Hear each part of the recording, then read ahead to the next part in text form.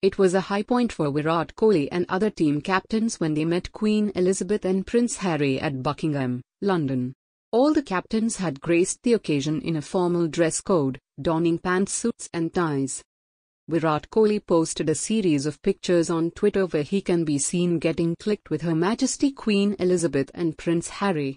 However, Sir Sarfaraz Ahmed, who is seen standing at the leftmost side in the picture chose to represent his own culture and rocked a white kurta pajama and a coat over it.